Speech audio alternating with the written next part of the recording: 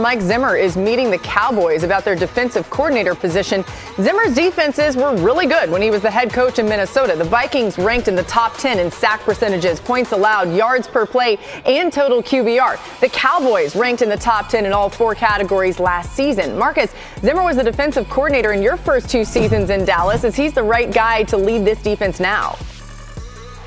He's one of them and a, and a, and a really good possibility. Obviously, his familiarity with Dallas, but also what he had, the success he had in Minnesota. Now, the concern is he's been away from football from a long time, but it's not crazy how parallel it is with him and Mike McCarthy being out and mm. being able to come and maybe learn some new things and look over the new ways of the NFL. He has had a tremendous amount of success against Kyle Shanahan type offenses. That's one of his calling cards and MO, which may be very enticing to the Dallas Cowboys. So we'll see where it goes.